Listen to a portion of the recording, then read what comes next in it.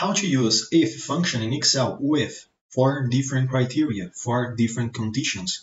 Through this practical example, we're gonna see how can we do it step by step and we're gonna solve here two real problems. The first one is to automate the task that I need to do here and the standard if function only allow me to use two different criteria, two conditions. But here I'm gonna show you how can we use three, four, five, or more different criteria within the if function. Let's start here understand what I have in this practical example. As the first column, I have the students' names, and then I have here four different tests and, uh, the grade that each one of the students got in each one of the tests, one, two, and three, and four. Then in the next column, I have here final, where I have actually the average of all these previous grade that each one of the students got.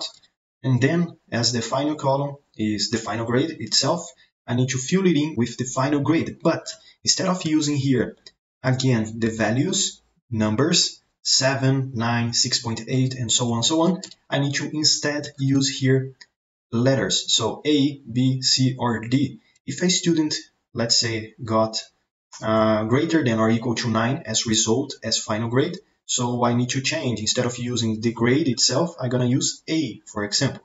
If a student got a grade that is greater than or equal to 7, so he got a B, and so on and so on. So basically I need to follow here these four different criteria, four different conditions. We basically have here in Excel two options to use. The first one is equal sign, ifs function, for example, but if you don't have this option, ifs, you can also use the if function itself.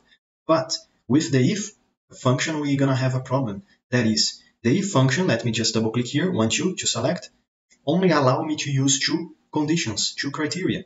The value if it's true and the value if it's false, A or B, for example.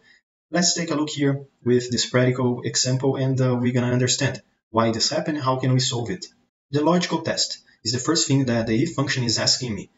My logical test here is going to be if the final grade that I have, the student got 7, 9, 6.8, and so on, so on. So if the final grade, for example, is greater than or equal to, I need to use here these two symbols, greater than or equal to, let's start with the 9, comma, if it's true, so I need to type in the letter A. But instead of filling in, type it in here, I'm gonna click in the cell because I already have the A typed in here with inside the, the, cell right, right there. Then I'm gonna just press F4 key to lock the reference because whenever I click in the cell and drag down, I want to, to this reference right here, the A reference, stay in the same cell, for example. I don't want to the reference of the cell drag along with the function.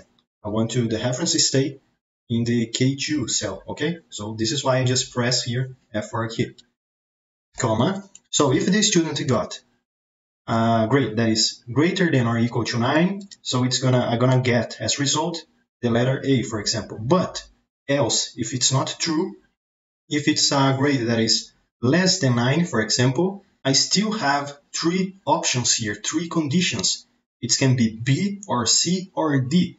But here in the if function is only allow me to append one more criteria. So to solve this problem, I'm gonna use the if function again, but this time within the if function. If, I'm gonna double click here again, want you to select. Now we have a nested function because we are using a function within another function, nested function.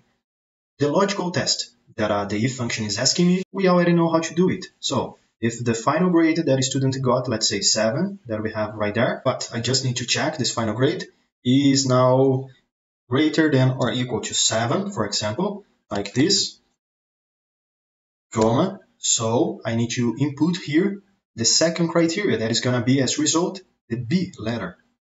F for B to lock the reference, comma, I need to use two more criteria to finish here my function. So that way, instead of using just one more criteria that uh, is the if function is allow me to use here, I'm gonna append another if function here.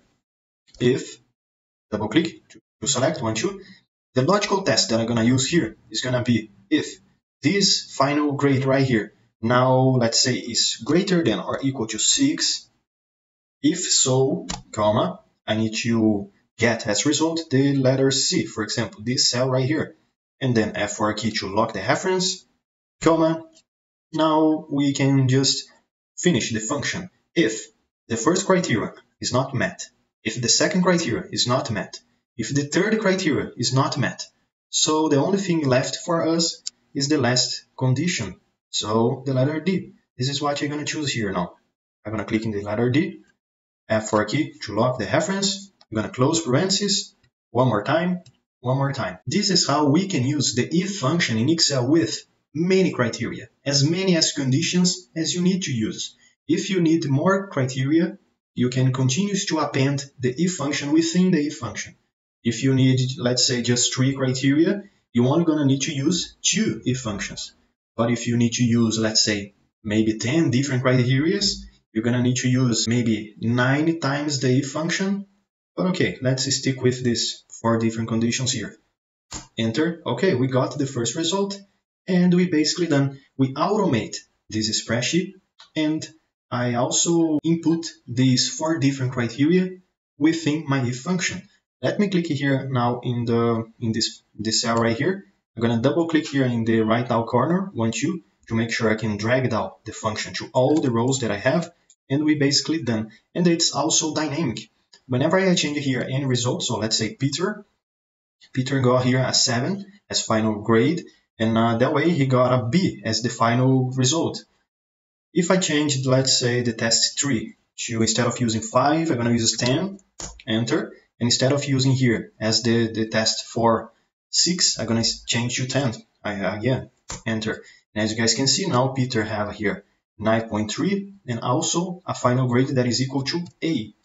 So it's dynamic. Whenever you change any value, any result, the function is going to automatically be updated for you. So I hope you guys enjoyed this video. If you have any questions or any suggestions to the next videos, let me know, comment down below, and I see you tomorrow. As every day has a new video, I see you there.